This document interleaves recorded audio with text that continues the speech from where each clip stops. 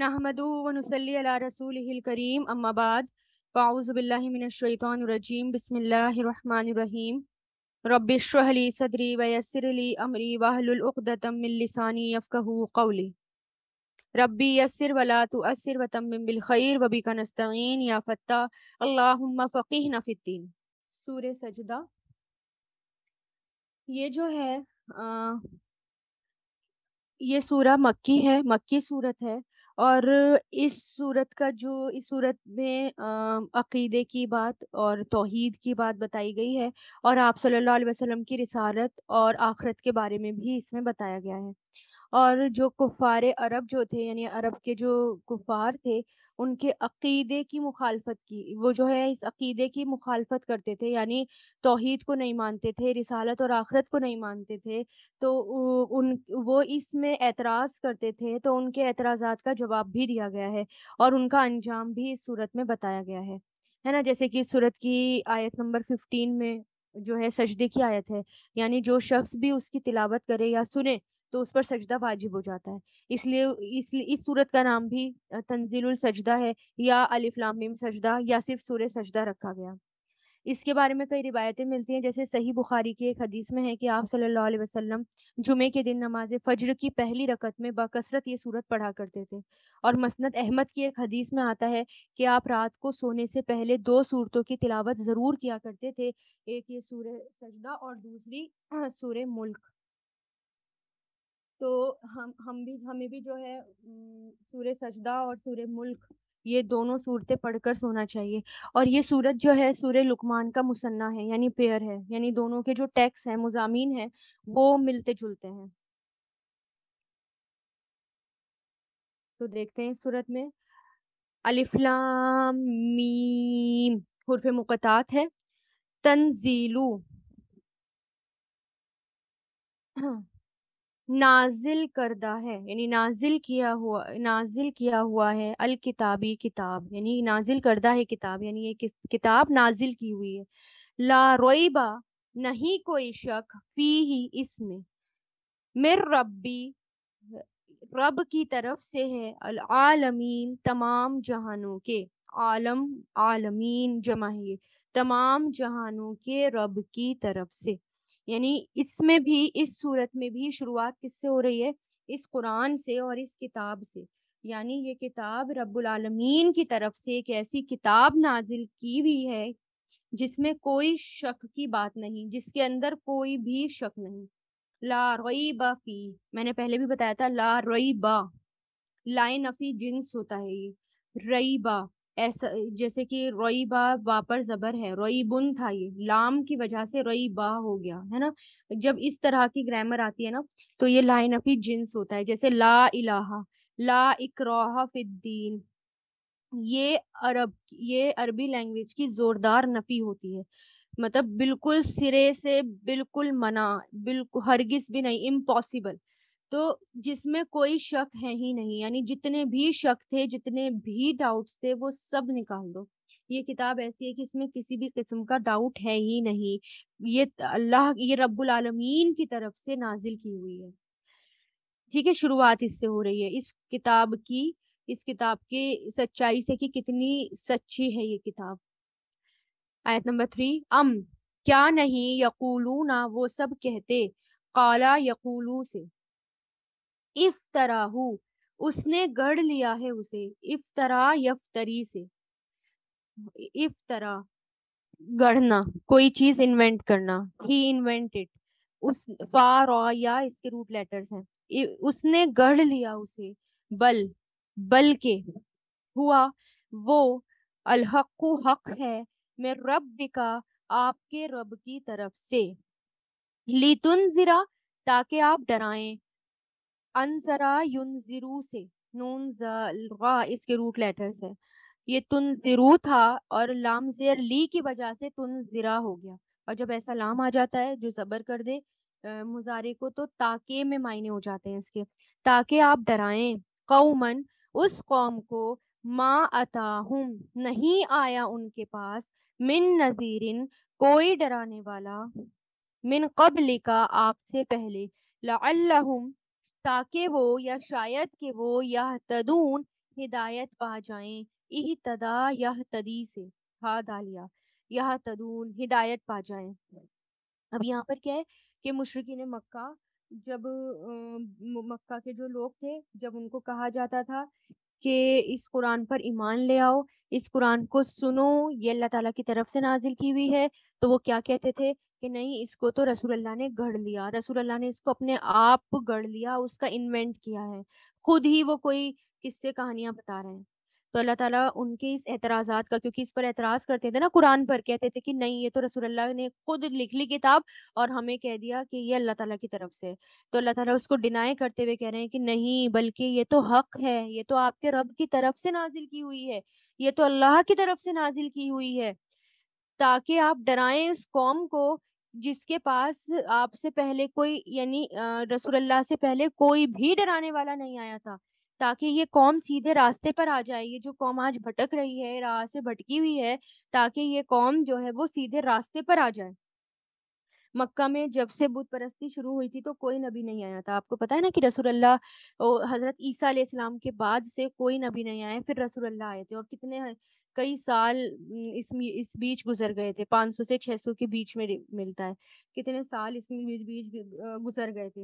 Individually तौर पर तो कुछ लोग ऐसे थे थोड़े बहुत की जो हक की तालीम और तबलीग करते रहते थे, लेकिन कोई नबी नहीं था और कोई नबी यहाँ पर आया नहीं था। बुत परस्ती बढ़ती जा रही थी और पीक पर थी अपनी, है ना? बढ़ ही गई थी। तो इसलिए रसूल अल्लाह को नबी बनाकर भेजा। तो अल्लाह ताला क्या कह रहे हैं ऐसी कौम को बताएँ, डराएँ, इस कुरान के ज़रिए डराएँ कयामत के बारे में और जहन्नम से उनको डराएँ। अल्लाह अल्लाह के बारे में बताएँ। अब अल्लाह के बारे में बताया जा रहा है कि अल्लाह कौन है, क्योंकि वो अल्लाह को नहीं मानते थे, एक अल्लाह को नहीं मानते थे। मानते तो थे अल्लाह को, लेकिन अल्लाह के साथ शिरक करते थे और कई खुदा उन्होंने गढ़ रखे थे। अल्लाह अल्लाह अल्लाजी, वो है जिसने खलका पैदा किया। खलका यखलुकु उखलुक फेले माजी। असमावाती आसमान को वल अर्दा और ज़मीन को वमा और जो कुछ बैनहुमा उन दोनों के दरमियान है। फ़ी सित्तती अयामिन छह दिनों में। सुम्मा, फिर इस तवा वो बुलंद हुआ। इस तवा यस्तवी से बराबर होना, बुलंद होना, कायम होना, बैठना। तो हमें इसका सही मतलब हमें नहीं पता चलेगा, इसकी सही ताबीर कि इस्तवा के वैसे दो लघवी मायना होता है सीधा होना और बैठना। लेकिन अल्लाह ताला के अर्श पर इस्तवा होना, होने का क्या मतलब है? सही मतलब हमारी फहम और हमारी समझ से बाहर है। इसलिए हमें इसकी बहुत ज़्यादा तफसीर में जाने की ज़रूरत नहीं और ये तो बहरहाल बाद में ही पता चलेगा कि अल्लाह ताला किस तरह अर्श पर है। हुँ? फिर वो बुलंद हुआ, इस्तवा हुआ अलल अर्शी अर्श पर। माँ, नहीं लकुम तुम्हारे लिए मिंदून ही, उसके सिवा मिन कोई वलीयू कोई वलीन कोई वली, यानी कोई दोस्त, वला और ना ही शफीन कोई सिफारशी। अफला तो क्या नहीं ततजक करून तुम सब नसीहत पकड़ते। ततजक करून जाल काफरा तजक करा या तजक करू तजक कर तो क्या नहीं, तुम सब नसीहत पकड़ते।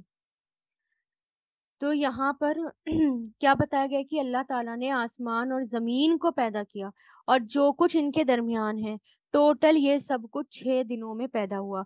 उसके बाद अल्लाह ताला अर्श पर इस्तवा हुए और फिर बताने के बाद अल्लाह ताला क्या कह रहे हैं कि वही, ये अल्लाह है जिसने सब कुछ बनाया और तुम्हारे लिए अल्लाह के अलावा कोई दोस्त नहीं है, कोई सिफारशी नहीं है। क्या तुम गौर और फ़िक्र नहीं करते? उसकी तखलीक पर और उसकी उसकी बनाई हुई चीज़ों पर गौर और फ़िक्र नहीं करते? अब देखें कि कुरान और हदीस से भी हमें दोनों की लेंथ के मुख्तलिफ़ औकात का पता चलता है, वक्त का पता चलता है। जैसे क़यामत का दिन पचास हज़ार साल के बराबर होता है। इसी तरह जो है यहाँ पर अल्लाह ताला जैसे बता रहे हैं कि फ़ी सित्तातिन अयामिन कि अल्लाह ताला ने आसमान और ज़मीन को छः दिनों में पैदा किया। अब सित्तती अयामिन छः रोज़ तो इस कायनात की तख्लीक जो है इस इस पूरी दुनिया की यूनिवर्स की जो तख्लीक है ग्रेजुअली हुई। और छह दिन से मुराद वो दिन नहीं है जो दुनिया में हम जानते हैं। इससे जो है दौर लिए जा सकते हैं पीरियड्स लिए जा सकते हैं। कि इतने पीरियड में की गई। क्योंकि जब आप आप देखें कि अलग अलग प्लेनेट में दिन अलग अलग होते हैं ना जैसे आ, कहा जाता है कि ज़मीन की जो शुरुआत थी वो किसी हादसे से हुई जो कि हालाँकि नहीं हुई थी। हर प्लेनेट के दिन अलग अलग होते हैं। जैसे मरकरी का डिस्टेंस अगर आप सूरज से लें तो फिफ्टी सेवन पॉइंट नाइन का जो आता है तो वहाँ पर, वहाँ का एक दिन फिफ्टी सिक्स डेज़ के बराबर होता है। दुनिया के अगर आप फिफ्टी सिक्स डेज़ का लें उनके एक साल में एट्टी एट डेज़ होते हैं। इसी तरह वीनस का एक दिन हमारे टू फोर्टी थ्री डेज़ के बराबर होता है। इसी तरह ज़मीन पर एक दिन चौबीस घंटे का होता है और साल three sixty five point twenty five days का, क्योंकि फोर डेज़ चार साल बाद लीप ईयर आ जाता है।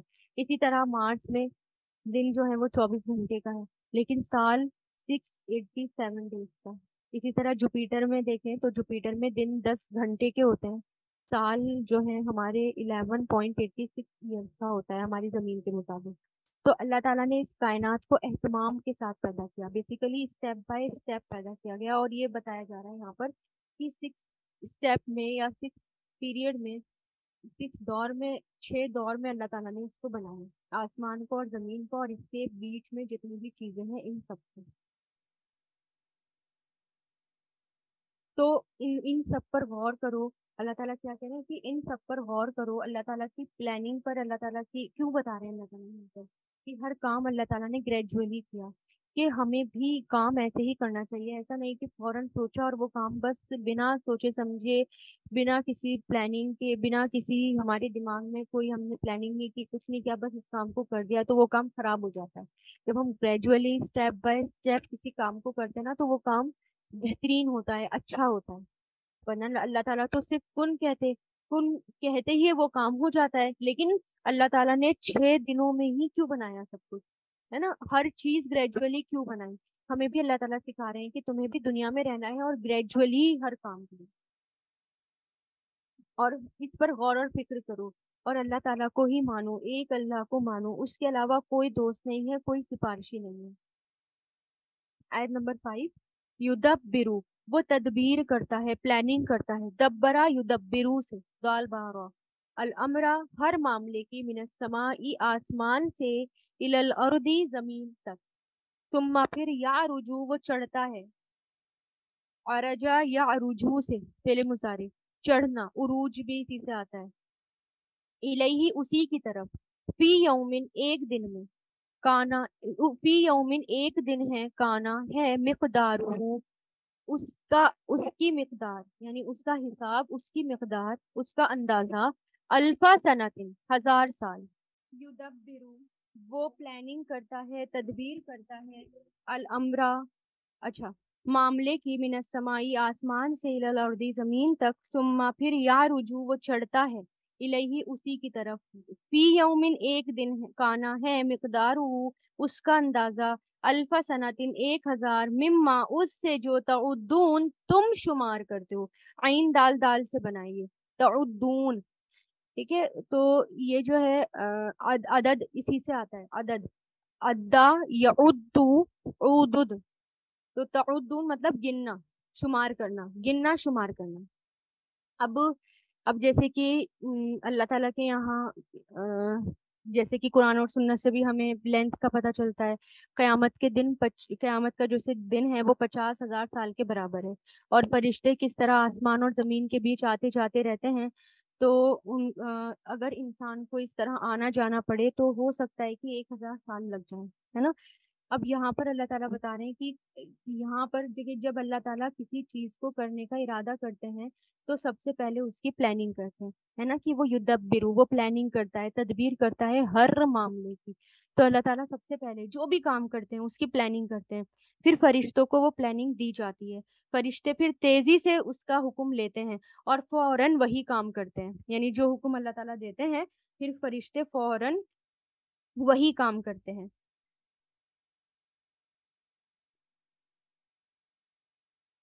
और इसी तरह जैसे कि बड़े, चार बड़े बड़े फरिश्ते हैं जिनको चार बड़े काम सौंपे गए हैं, जैसे कि जबरील अलैहिस्सलाम वही लेकर आते हैं। मिकाइल अलैहिस्सलाम रिस्क और रोजी रोटी देते हैं और बारिश को बरसवाते हैं, बादल को हुक्म देते हैं, हवाओं को हुक्म देते हैं। इसी तरह इसराइल अलैहिस्सलाम जब लोग पैदा हो जाते हैं और फिर उनकी रूह कब्ज होनी होती है तो रूह कब्ज करते हैं। इसी तरह इसराफील अलैहिस्सलाम जो है वो सूर फूकेंगे।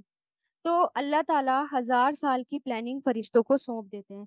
ये भी इसकी रिवायत में आता है कि जैसे हज़ार साल की प्लानिंग फरिश्तों को सौंप देते हैं, फिर वो वापस रिपोर्ट अल्लाह ताला के पास ले जाते हैं और ये रिपोर्टिंग दो तरह की होती है। एक इंसान की रिपोर्ट, रिपोर्टिंग जो होती है उनके नाम अमाल के अकॉर्डिंग हर रोज होती है, जैसे कि असर और फजर के वक्त उनकी रिपोर्ट वहाँ तक जाती है उनकी रिपोर्ट, है ना? असर के टाइम और फजर के टाइम, फरिश्ते अदला बदली करते हैं ना, और वहाँ तक अल्लाह ताला तक पहुँचा देते हैं सब कुछ। फिर दूसरी तरह की जो होती है रिपोर्टिंग वो ये होती है कि कौम के फैसले, उनकी मुद्दत, है ना? और कौम कब तक रहेगी, कब उस पर अजाब आएगा, ये सब कुछ। फिर वो वापस जाकर फिर अल्लाह ताला को सब बताते हैं। तो इस तरह से जो है ये प्लानिंग होती है। तो यहाँ पर अल्लाह ताला वही बता रहे हैं कि किस तरह जो है अल्लाह ताला हज़ार साल की प्लानिंग को करते हैं। और अल्लाह ताला के यहाँ एक दिन हमारे हज़ार दिन के बराबर हैं, उसे जो तुम शुमार करते हो, यानी तुम्हारे हज़ार दिन के बराबर। तो दिनों के दिनों के हिसाब अल्लाह ही जानते हैं, लेकिन फिर भी अल्लाह ताला ने हमें बताया है, हिंट भी दिया है कि तुम्हारे अकॉर्डिंग कितना है वो दिन। अब जैसे कि पचास हज़ार के साल के बराबर कयामत का दिन होगा तो कितना मुश्किल होगा वो निकालना। यहाँ पर साठ साल की जिंदगियाँ मुश्किल हो जाती हैं, सौ साल की जिंदगियाँ मुश्किल हो जाती हैं। वहाँ एक दिन पचास हज़ार के साल के बराबर होगा, इतना लंबा होगा कि लोग परेशान होंगे और दुआ कर रहे होंगे, अल्लाह ताला, बस ये ये दिन हमसे निकाल दे।